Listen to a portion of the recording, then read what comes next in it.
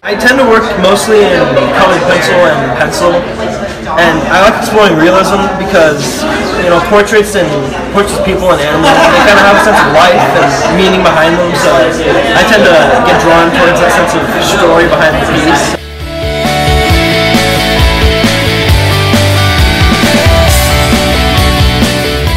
So I just decided I would just start painting. Putting paint on the canvas and just sort of play with the color and the tone and the texture and, and let it just sort of evolve. Uh, I just want to encourage everybody who has to do whatever they love to do, and if painting's that, I, you just have to, can't be afraid of it, you just have to do it.